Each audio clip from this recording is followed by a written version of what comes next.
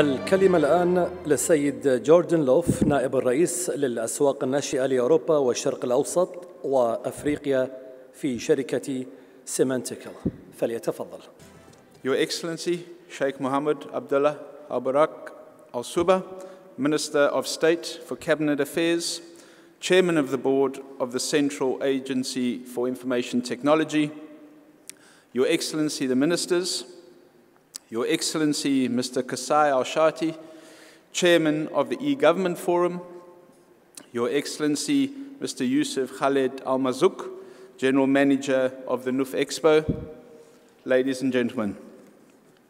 It is indeed a privilege and an honor uh, for Symantec to partner with Nouf Expo and the state of Kuwait as part of this process.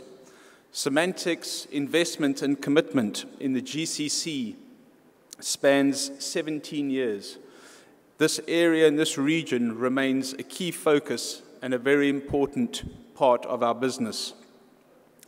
Symantec, as you may be aware, has recently acquired Blue Coat Systems to form the largest cybersecurity company on the planet. What this means for us locally in region, more importantly, is we have now doubled our investment, doubled the number of resources that we have not just across the GCC region, but specifically in the state of Kuwait.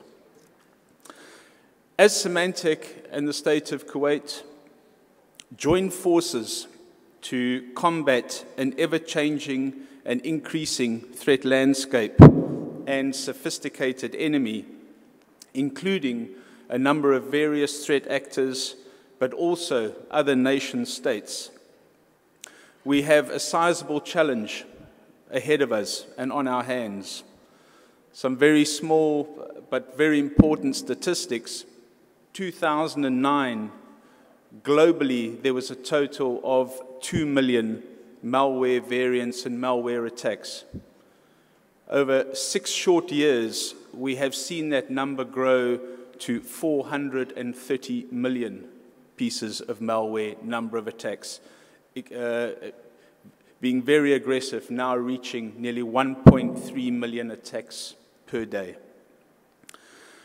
What we have seen uh, recently globally and on assessments, four out of every five websites have vulnerable, vulnerabilities and have exposure. People often say, well, what do I really care about websites and vulnerabilities? But yet most of us in organizations and specifically government and specifically the oil sector in Kuwait over the years continue to experience massive DDoS attacks, which affect business uh, and also affect production. So we do care. This challenge that we face together really raises the importance of developing, implementing, deploying, and managing integrated cyber defense solutions and platforms. As we know, the challenge we face is significant where industry, government, and private sector all play a massive part in order for this to be successful. The big benefits of technology, that which we understand, everyone's path to digital transformation, uh, comes with risks.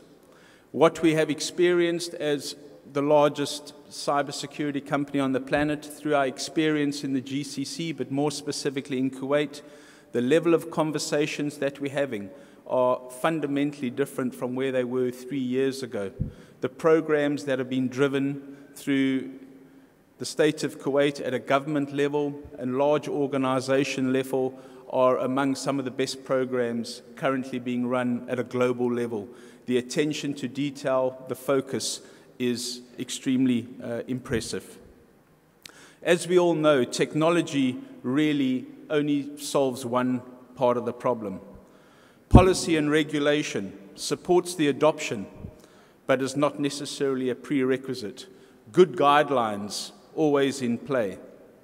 Intelligence in terms of the size of the threat globally, the introduction of machine learning and automation important. Most important of all of them is skilled people. we have a global challenge with skilled people in the era of cybersecurity. We are working with the Kuwait government specifically and a number of, of, of, of the departments specifically on developing a world-class cyber academy. If we look at the global level and the global scale, there is constant need for in the region of around 4 million cybersecurity professionals. Our experience a number of successful projects in the GCC. The simple things that we do know technology and intelligence, which is guided by relevant policy and regulation, underpinned by skilled and passionate people, make a significant difference in the battle that we are in, in this new frontier. The state of Kuwait and the projects currently underway, underpinned by the Expo, is absolutely on the right track. The level of conversation, the initiatives, the willingness to engage with world class capability and world class standards is something to be admired and shared across the rest of the GCC and globally.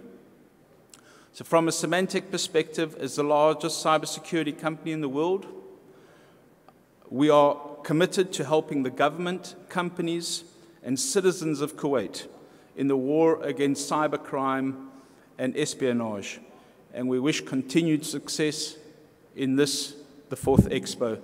And once again, thank you very much for allowing Symantec to participate. Shukran.